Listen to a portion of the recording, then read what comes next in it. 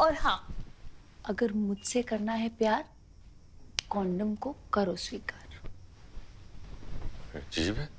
अगर हमसे करना है प्यार तो कॉन्डम को करो स्वीकार।